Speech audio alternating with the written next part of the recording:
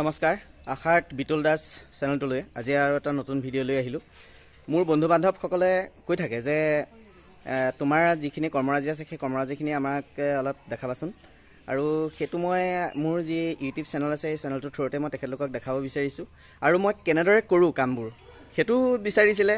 সেই মৰ্মে আগৰ ভিডিঅ'ত মই দিয়া আছিলে যে এটা ঘৰ পেইণ্টৰ কাম আৰু ডিজাইনৰ কাম কৰা হৈছিল। আৰু নেক্সট আজি এটা বেলেগ কামলৈ আহিছোঁ। আহ, সেই কামটো দেখাবৰ বাবে আৰু মই কৰি দেখাব লাগে অলপ মই কৰোঁ। মই মোৰ ভাইটি দয়ালু হাজৰিকালৈ মই কেমেৰাটো দিছোঁ। তেখেতে গোটেইখিনি হেৰি কৰিব।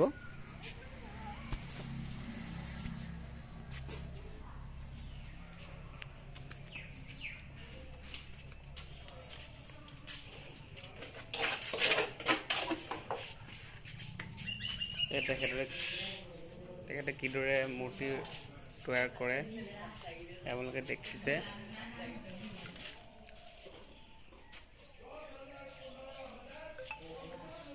আপোনাৰ কিমান দিন লাগে এটা মূৰ্তি সম্পূৰ্ণ প্ৰস্তুত এনেকুৱা মূৰ্তি ডাঙৰ মূৰ্তি এক ডেৰ মাহ লাগি যায়।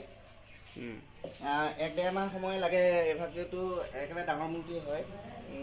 নামসিংহ মূৰ্তি হয় এই নামসিংহ ভাগে বালিগাঁৱৰ হৰি মন্দিৰৰ যি বাটচুৰা আছে সেই বাটচুৰাতে এই মূৰ্তিশাল তাতে স্থাপন কৰিব। আহ, এই ভাগ কালিলৈ যাবগৈ। কালিলৈ যাব আজি আমি খুব ঝাৰ ঝুৰছে কাম মানে জবৰদস্ত কাম কৰিব লগা হৈছে। আৰু কামবিলাক আমি অলপ অলপ আগবঢ়াই নিছোঁ। ময়ো লাগিছোঁ মোৰ পৰিবাৰো লাগে ইয়াতে কামতে। পৰিবাৰো কৰিছে সমানেই কামখিনি কৰিছে। আৰু বৰষুণৰ কাৰণে আমি কামবিলাক খুব সোনকালে উলিয়াব নোৱাৰিলোঁ। চ'ত মাহটোতো গোটেইখিনি বৰষুণে দি থাকিলে গোটেই মাহটো।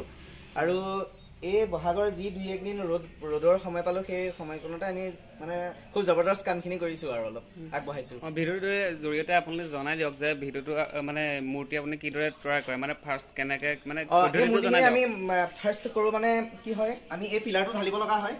এই পিলাৰটো ঢলাৰ পাছতে আৰু এই এইটো বনাওঁ মানে। এই বস্তুটো বনাওঁ ইয়াৰ ভিতৰত গোটেইখিনি ৰড আছে। ৰড কইল গুণাৰ দি গাঁথনি কৰা হৈছে। এখন জালি গাঁথনি কৰা হৈছে তাৰপিছত ঢালাই দিয়া হৈছে তাৰপিছত এইটো বস্তুলৈ আহে। ইয়াৰ ওপৰতহে এই মূৰ্তি ভাগ হয়গৈ। যেনে ইয়াৰ এটা বস্তু এটা ফৰ্মা বনাই থোৱা আছে সেই বাহিৰত আছে। দূৰত আছে ফৰ্মাটো পৰৱৰ্তী সময়ত মই দেখাম গোটেইখিনি। মোৰ বন্ধু বান্ধৱসকলে কৈ থাকে যে তুমি কাম কৰা মানে ভিডিঅ' দিবাচোন চাব মন যায়।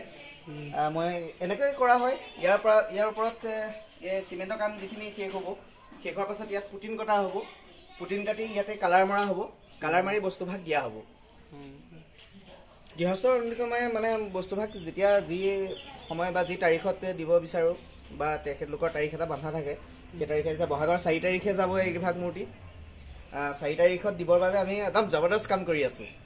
ৰাতি দিন বুলিবলৈ নাই আৰু ৰাতি দুটা তিনিটা তেনেকুৱালৈকে কাম হয়।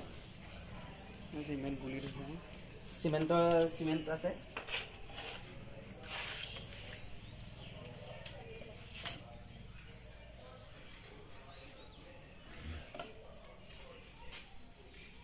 এইকেইটা দাঁত বনাম।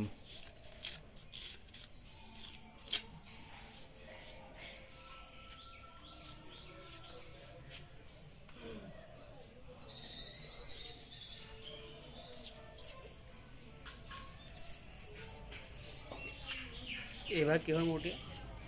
সেইভাগ বিষ্ণু মূৰ্তি হ'ব। বালিচাপৰি নামঘৰলৈ যাব। বহাগৰ চৌবিছ তাৰিখে যাব এইভাগ হৈছে আৰু ন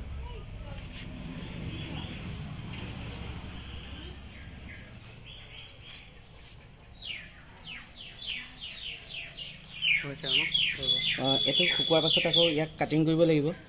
কাটিং কৰি এইবিলাক দাঁত হ'ব দাঁত মানে ওলাই ওলাই আহিব। এইবোৰ দাঁত হ'ব ইয়াদি এনেকুৱাকৈ। দুটা চাৰিটা ডাঙৰ দাঁত থাকে আৰু এইখিনিতো সৰু দাঁত হ'ব। এইখিনি দাঁত যেনেকৈ এনেকৈ এনেকৈ বনোৱা হৈছে দাঁতখিনি এইখিনি দাঁত হ'ব। আৰু ইয়াৰ পৰা দুটা দাঁত বাঢ়ি যাব। ইয়াৰ পৰা দুটা বাঢ়ি আহিব। এখন জিভা হ'ব। এটা চকু থাকিব কাণ তেনেকৈ এনেকুৱাকৈ বনোৱা হৈছে বস্তুবিলাক। এইবাৰ নামসিংহ বুলি কয়। নামসিংহ লখিমপুৰ বালিগাঁৱৰ হৰি মন্দিৰলৈ যাব। হয় আমাৰ মূৰ্তি কামবিলাক এনেকুৱাকৈ চলি আছে। আৰু এই মূৰ্তি কাম কামৰ যিটো নমুনা সেইটো দিয়া হ'ল। এই মূৰ্তিভাগ চাই আপোনালোকে জনাবচোন কেনে লাগিছে। ভাল লাগিলেও জনাব বেয়া লাগিলেও জনাব আৰু কৰিবলগীয়া কাম আছে। আৰু এইখিনি ইয়াত কেশো দিয়া হৈছে এইখিনি এই ইয়াত যেনেকৈ কেশো দিয়া হৈছে ঠিক ইয়াতো তেনেকৈ দিয়া হ'ব। এইটো আমি প্লেটটো ঢালি থৈছোঁ। এইটোতো কেশো দিয়া হ'ব। মূৰ্তি যদি এ চাই ভাল পাইছে জনাব। বেয়া পালেও জনাব। নজনাকৈ নাথাকিব। যদি ক'ৰবাত ভুল হৈছে তেতিয়া আমি শুদ্ধ কৰিবলৈ চেষ্টা কৰিম। কোনো ইয়াত ফৰ্মা নাই আমি হাতেৰে বনাওঁ। হাতেৰে বনোৱা হয়। আৰু কাৰোবাক যে যদি প্ৰয়োজন হয় তেতিয়া অৰ্ডাৰ কৰিব পাৰিব। অৰ্ডাৰ মতে আমি যোগান ধৰোঁ। সকলো ধৰণৰ মূৰ্তি ইয়াতে বনোৱা হয় পকা মূৰ্তি। সকলো ধৰণৰ আপোনাৰ নামঘৰতে যি মূৰ্তি স্থাপন হয় সেই মূৰ্তি মন্দিৰত দিয়া মূৰ্তি সকলো ধৰণৰ মূৰ্তি ইয়াতে দিয়া হয় বনোৱা হয়। বাকী আপোনালোকে মোৰ যদি চেনেলটো ছাবস্ক্ৰাইব কৰা নাই ছাবস্ক্ৰাইব কৰি দিব কমেণ্ট কৰিব শ্বেয়াৰ কৰিব লগতে মোক জনাব ইয়াত ভাল বেয়া কিবা শুদ্ধ অশুদ্ধ ৰং প্ৰিণ্ট কৰাৰ পাছত মই আকৌ এবাৰ ভিডিঅ' দিম। আপোনালোকে চাব পাৰিব। তেতিয়াহে আপোনালোকে মানে সম্পূৰ্ণ দেখিব। এতিয়াতো সম্পূৰ্ণ হোৱা নাই ভিডিঅ'টো। তেতিয়া মই সম্পূৰ্ণ কৰিবলৈ চেষ্টা কৰিম। ভিডিঅ'টো দিবলৈ চেষ্টা কৰিম সম্পূৰ্ণ কৰি। তেতিয়া আপোনালোকে মোক জনাব। ধন্যবাদ। আজিলৈ আহোঁ।